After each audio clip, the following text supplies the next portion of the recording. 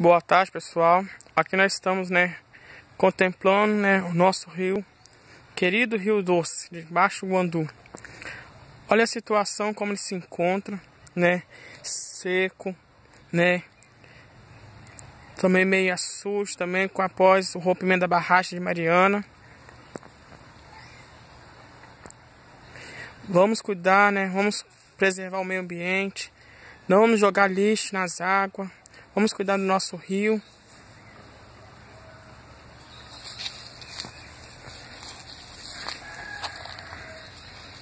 Cada dia mais, né, se encontra seco, vazio. Vamos cuidar das nossas nascentes.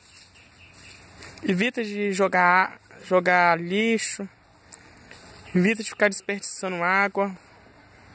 Vamos economizar que um dia pode faltar, hein?